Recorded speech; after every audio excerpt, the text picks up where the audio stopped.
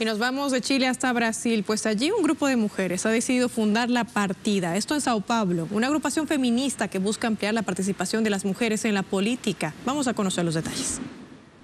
Ellas se cansaron de esperar. Según estas mujeres, ningún partido político, ni siquiera de izquierda, logró ampliar la participación de las mujeres en el escenario político.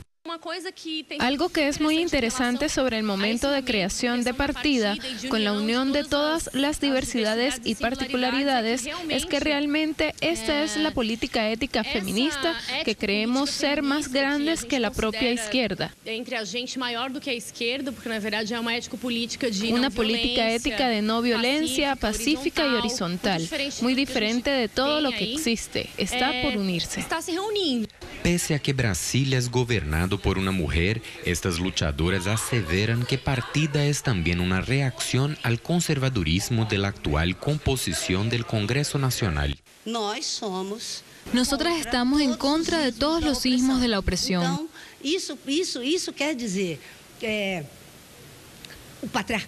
Esto incluye el patriarcado, el capitalismo, el machismo, la misoginia, el sexismo, todos. El poder legislativo brasileño es la expresión de la desigualdad de la representación de género en la política.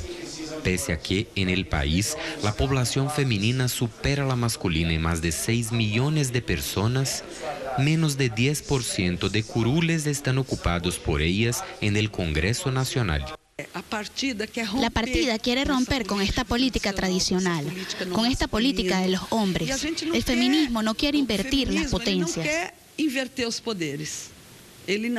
No queremos tener poder sobre los hombres. El feminismo lucha por los derechos humanos para toda la humanidad. Quiere la igualdad para todos porque respeta la singularidad.